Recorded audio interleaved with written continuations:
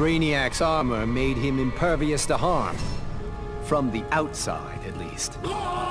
He'll survive this minor brain surgery. He just won't be able to control his skull ship anymore.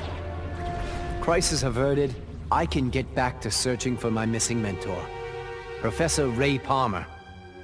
Last year, Palmer dove headfirst into the microverse, a subatomic dimension he himself discovered.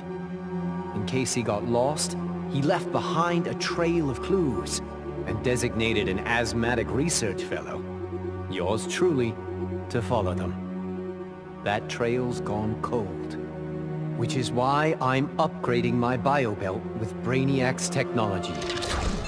It's my turn to go subatomic. I'm not the strongest or bravest hero out there. But Professor Palmer, he's an Einstein-level genius.